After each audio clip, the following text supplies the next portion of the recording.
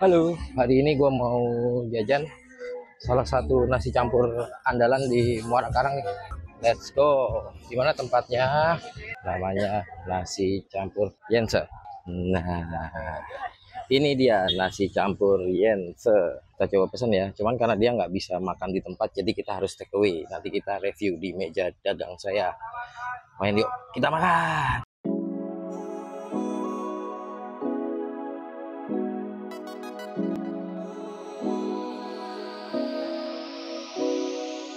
Menunya Yense ada nasi Hainam ada bakmi sioba chasio bakmi keriting lengkap. Ini adanya di pasar Muara Karang. Pas banget di juga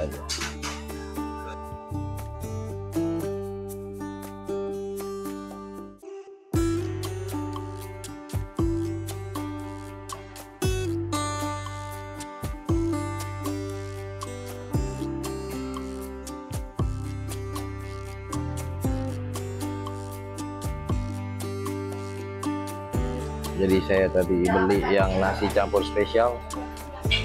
Cepet masih kembalian. Mantap kan? Yuk kita ambil dulu kembaliannya. Oke aku udah dapat barangnya. Ini mari kita tes untuk makan. Yes balik. Iya udah nyampe lagi kan ke meja pasar? Dibilang tempatnya dekat dari pasarnya dari pasar ini dia. Nasi campur Yense kita bahas dari packingnya. Kayaknya Yense ini memang kita nggak bisa makan di tempat deh. Dia khusus take away atau pesan grab atau pesan gojek. Menunya kan tadi udah ya aku liatin ya. Tadi aku jalan ke sana. Ini packingnya sih menurut aku cukup spesial karena dia nggak pakai styrofoam dia pakai kayak plastik mika gitu. Jadi tuh lumayan cukup aman ya buat di take away ya. Kalau styrofoam kan sering pecah dan kalau kita mau tuangin kuahnya kita mau tuangin kuahnya itu jadi aman gitu. Oke? Okay?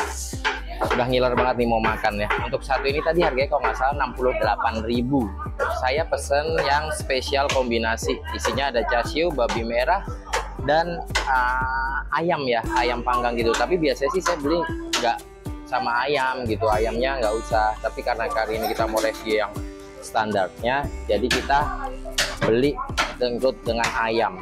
Ayo kita take away. Dapat bonus sendok lagi. Ya jadi tadi dikasih tahu kalau ke Yense itu di atas jam 10 gitu udah pasti kehabisan sih.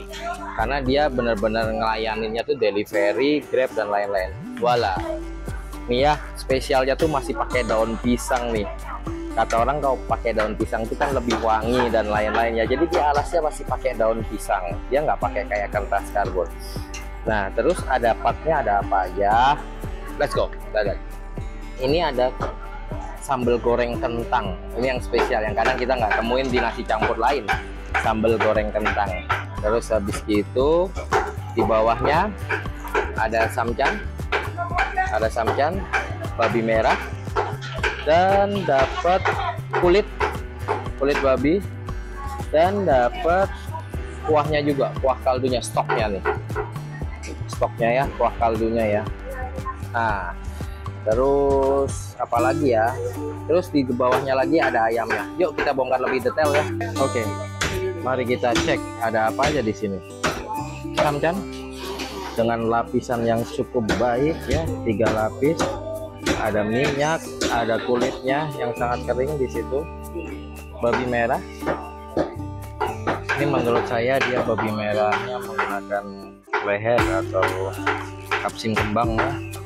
Karena moist sekali seperti dibakar madu seperti itu moist sangat uh, berminyak dan kayaknya bakal lembut terus ada kulit babi. Terus ini sambal goreng kentang. Salah satu ciri khas dari nasi campur yense itu ada ini nih sambal gorengnya ini pakai kentang. Ini menambah kenikmatan rasa. Namanya nasi campur ya kita campur aja ya. Terus habis gitu ini spesial sih pakai daun pisang sih masihan sih ya kan? Kita buka lagi ada telur? Telur? Ini telur ayam ya bukan telur babi ya. Terus ada ayam panggang bacem panggang gitu loh panggang manis gitu. Dan satu lagi ada sambal hijaunya ini mantep banget. Terus habis itu ada ini nih sausnya. Saus kecap apa ya ini madu manis gitulah. Tapi coba nanti kita icipin ya. Jadi pertama kita campur dulu semuanya oke tadi part-partnya udah. Sekarang pertama yang perlu kita lakuin adalah sausnya nih. Sausnya tuangin dulu ya campurin. Ayo kamu tipe yang makan nasi campur langsung dicampur semua apa dipisah-pisah? Sadar. Kayak makan bubur ya. Terus karena saya suka pedas ih sambal aku mana tadi? Sambal hijaunya ini. Sambal hijaunya ini juga hmm enak banget. Enak banget ini sambal hijaunya. Coba ya. Saya colek mantep. Sambal hijaunya ini. Jadi dia ada bawang putihnya ada sambal hijaunya sendiri sedikit garam rasanya asin tapi bawang putihnya strong gitu tuh enak sih sambalnya enak. Terus kerupuk kulit. I kerupuk kulit dan kita akan coba satu per satu dulu makan. Oh ya saya, lupa ya. Dianse dia pakainya nasi Hainam ya dengan kaldu yang sangat mantep ya. Nasi Hainamnya tuh warnanya benar-benar coklat dan benar-benar pulen. Coba dulu. Makan. Saya coba nasi Hainam.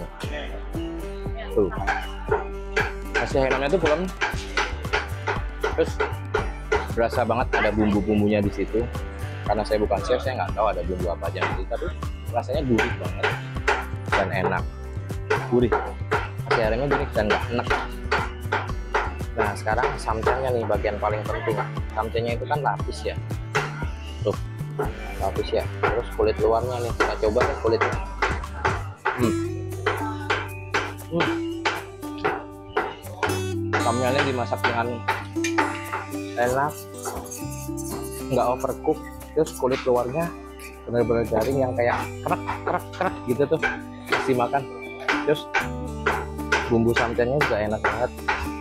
Terus ini babi merahnya casionya. Casionya itu cenderung gelap ya nggak merah banget. Mungkin karena dia dibakar madu gitu ya mungkin ya. Terus coba. Hmm. rasa casionya khas banget manis kayak manis-manis gitu terus ada kayak sensasi rasa kayak kasih gimana sih? Angkatnya gitu ya. Manis pas gitu. Ayamnya nih kayak sama dia digeprek gitu. Digeprek baru dipotong-potong. Jadi mungkin biar empuk. Nah ini juga enak. Semuanya pas. Wajar aja oh yang sini salah satu nasi campur menurut gua terbaik saat ini di Muara. Menurut saya ya. Ini kan pendapat pribadi. Bapak Ibu bisa beli nasi campur Yense ini tuh porsinya juga banyak isiannya toppingnya. Tuh topping semua nih. Banyak loh dengan 68.000 Bapak Ibu udah dapat topping daging babi sebanyak ini semelimpah ini. Kan mungkin perbandingan sama nasinya satu banding satu nih. Ya mantep banget deh. Nih sambal gorengnya itu enak ya khas ya. saya jarang sih nemu ada nasi campur terus ada sambal gorengnya gini jadi sensasinya tuh kayak makan yang semuanya tuh bener-bener ada sausnya gitu. Babi merahnya kan udah moist gitu ya ada kayak minyak-minyaknya gitu. Terus nasi nasi tim eh nasi tim nasi hainamnya tuh lembut. Samcannya ngasih sensasi crackling di mulutnya. Ditambah lagi kerupuk kulit babi ini. Jadi di mulut itu benar-benar rame banget ada krak tapi juga lembut gitu. Samcannya sih menurut aku juara sih karena bisa garing banget kulitnya. Dan dia pakai samcan yang emang lapisnya bagus nggak terlalu tebel minyak jadi di mulut tuh nggak oily banget gitu loh. Tetap ada minyaknya tapi dagingnya juga harus ada gitu. Inilah samcan panggang yang menurutku asik. Hmm, hmm. sambelnya juga nggak terlalu pedas oh iya aku lupa. Belum tuangin kuahnya. Ini kuahnya gigit aja. Ya cicip dulu kuahnya.